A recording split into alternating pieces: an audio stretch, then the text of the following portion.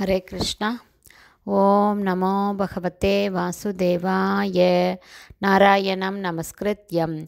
நரம் சைவ நரோத்தமம். தேவீம் சரஸ்வதீம் யாசம். ததோஜயம் உதீரயேத். நஷ்டப்பிராயேஷு அபத்ரேஷு. நித்யம் பாகவத சேவையாம். பகவதி உத்தமஸ்லோகே பக்திர்பவதி நைஷ்டகி முகம் கரோதி வாச்சாலம் பங்கும் லங்காய தே கிரிம் யத்கிருபா தமகம் வந்தே ஸ்ரீகுரும் தீனதாரிணம் பரமானந்த மாதவம் ஸ்ரீ சைத்தன்ய ஈஸ்வரம் ஹரே கிருஷ்ணா ஸ்ரீல குருதேவ் கி ஜெய் ஸ்ரீல பிரபுபாத் ஜெய் ஹரே கிருஷ்ணா ஸ்ரீமத் பாகவதம் ஸ்கந்தம் ஐந்து அத்தியாயம் பதினான்கு பௌதீக உலகம் இன்பத்தின் மிக பெரும் காடு என்னும் தலைப்பில் பதம் பத்தொன்பது क्वचित् स दुःसहेन कायाभ्यन्त्र वह्निना गृहीतसारः स्वकुटुम्बाय गृह्यति வேர்ட் பை வேர்ட் மீனிங் क्वचित् ச மேலும் சில சமயம் துஹ்சனே சகேன தாங்க ஒண்ணாத காய அபியந்திர வஹ்னினா. உடலினுள் இருக்கும் பசி மற்றும் தாகத்தினால் கிரகீத சார. அவனது பொறுமை தீர்ந்து போகிறது. ஸ்வகுடும்பாய அவனது குடும்பத்தினரிடம் கிருத்யதி அவன் ஆத்திரமுடையவன் ஆகிறான். டிரான்ஸ்லேஷன் சில சமயம் உடல் சார்ந்த பசி மற்றும் தாகத்தினால் பந்தப்பட்ட ஆத்மா மிகுந்த துன்பப்பட்டு பொறுமை இழந்து தனது பாசத்திற்குரிய மனைவி மகன் மகள் போன்றவர்களிடம் கூட கோபம் கொள்கிறான். இவ்வாறு அவர்களிடம் அன்பில்லாதவனாகி மேலும் அதிகமாக துன்பப்படுகிறான். பர்பட் பை ஷில பிரபா ஜெய் ஷில பிரபாத் ஷில வித்யாபதி தாகூர் இவ்வாறு பாடுகிறார். தாத்தலே சைக்கத்தே வாரி பிந்து சம சுதமித சுதமித் ரமணி சமாஜே. அதாவது இல்லற வாழ்வில் உள்ள இன்பமானது பாலைவனத்தில் உள்ள ஒரு துளி நீருடன் ஒப்பிடப்படுகிறது என்பதே இதன் பொருள். இல்லற வாழ்வில் ஒருவன் கூட மகிழ்ச்சியாக இருக்க முடியாது. வேத நாகரீகத்தின்படி இல்லற வாழ்வின் பொறுப்புகளையும் ஒருவன் துறந்துவிட முடியாது. ஆனால் இன்று ஒவ்வொருவரும் விவாகரத்தின் மூலம் இல்லற வாழ்க்கையை புறக்கணிக்கின்றனர்.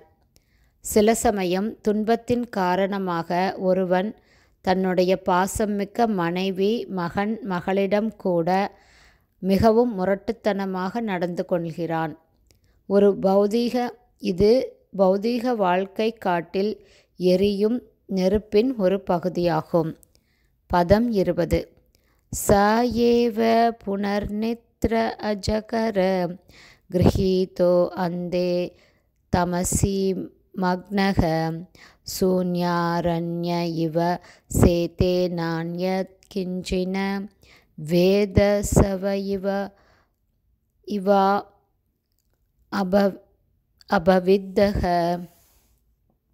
வேர்ட் பை வேர்ட் மீனிங் ச பந்தப்பட்ட ஆத்மா ஏவ நிச்சயமாக புனக மீண்டும் நித்ரா அஜகர நீண்ட உறக்கம் என்னும் மலைப்பாம்பினால் கிரகீத விழுங்கப்பட்டு அந்தே அடர்த்தியான இருட்டில் தமசி அறியாமையின் மக்ன ஆழ்ந்து சூன்ய அரண்யே தனிமையான காட்டில் இவ போல சேதே அவன் படுத்திருக்கிறான். ந இல்லை அந்யத் பிற கிஞ்சன எதுவும் வேத அறிகிறான். சவ சவ ஒரு இறந்த உடல் இவ போல அபவித்த தூக்கி எறியப்படுதல். டிரான்ஸ்லேஷன் சுகதேவ கோஸ்வாமி பரீட்சித் மகாராஜாவிடம் தொடர்ந்து கூறினார். அன்பிற்குரிய அரசனே உறக்கம் என்பது ஒரு மலைப்பாம்பு போன்றதாகும். பௌதீக வாழ்க்கை என்னும் காட்டில் அலைந்து கொண்டு இருப்பவன் உறக்கம் என்னும் மலைப்பாம்பினால் எப்போதும் விழுங்கப்படுகிறான். இந்த பாம்பினால் கடிக்கப்படுவதினால் அவன் எப்போதும் அறியாமையின் அடர்ந்த இருட்டினுள் இருக்கிறான்.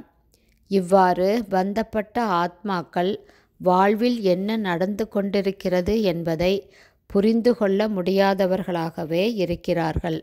பர்பட் பை ஷிலப்பிரப்பா அஞ்சய் ஷிலப்பிரப்பாத் பௌதீக வாழ்க்கை என்பது உண்பது உறங்குவது புணர்வது தற்காத்து கொள்வது போன்றவற்றில் முற்றிலும் சூழ்ந்திருப்பதாகும். இவற்றுள் உறக்கம் என்பது மிகவும் எச்சரிக்கையுடன் எடுத்துக்கொள்ளப்பட வேண்டியதாகும். உறங்கும் பொழுது ஒருவன் வாழ்க்கையின் லட்சியம் மற்றும் என்ன செய்வது என்பவற்றை முற்றிலும் மறந்துவிடுகிறான். ஆன்மீக உணர்விற்காக ஒருவன் உறக்கத்தினை எவ்வளவு தூரம் தவிர்க்க முடியுமோ அவ்வளவு தூரம் தவிர்க்க முயற்சி செய்ய வேண்டும். பிருந்தாவனத்தை சேர்ந்த கோஸ்வாமிகள் நடைமுறையில் தூங்குவதே இல்லை. உண்மையில் மிக மிக குறைந்த அளவே அவர்கள் உறங்கினார்கள். உண்மையில் உறக்கம் உடலிற்கு தேவை என்பதினால் மிக குறைந்த அளவே உறங்கினார்கள். அவர்கள் ஒரு நாளில் இரண்டு மணி நேரம் மட்டுமே உறங்குவார்கள். அதுவும் கூட சில நேரம் உறங்குவதில்லை. அவர்கள் எப்போதும் ஆன்மீக வளர்ச்சியில் ஈடுபட்டு இருந்தார்கள். நித்ராகார விகார காதி விஜதோ. கோஸ்வாமிகளின் அடிச்சுவடுகளை பின்பற்றி நாமும் உண்பது உறங்குவது புணர்வது தற்காத்து கொள்வது போன்றவற்றை குறைத்து கொள்ள முயற்சி செய்ய வேண்டும். ஹரே கிருஷ்ணா. ஸ்ரீமத் பாகவதம் ஸ்கந்தம் ஐந்து அத்தியாயம் பதினான்கு பௌதீக உலகம் இன்பத்தின் மிக பெரும் காடு என்னும் தலைப்பில். பதங்கள் பத்தொன்பது இருபதுடைய ஸ்ரீல பக்திவேதாந்த சுவாமி பிரபுபாதாவின் விளக்க உரைகள் இத்துடன் நிறைவடைந்தது. ஹரே கிருஷ்ணா ஸ்ரீல குருதேவ்க்கு ஜெய் ஸ்ரீல பிரபுபாதுக்கு ஜெய். ஹரே போல்.